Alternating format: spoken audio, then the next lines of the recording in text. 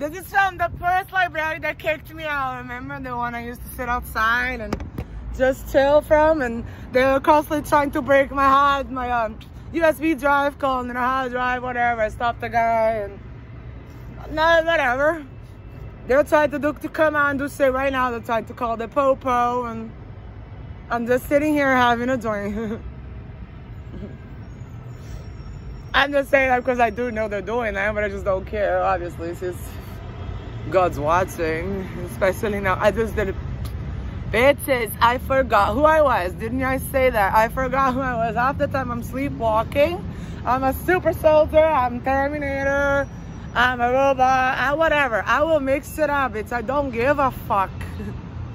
I will say, I will take responsibility for everything he does, uh, just so he's hiding somewhere.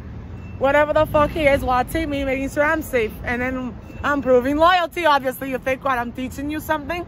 Half the shit I told you is a lie. he knows the difference. Obviously, this is the Lord.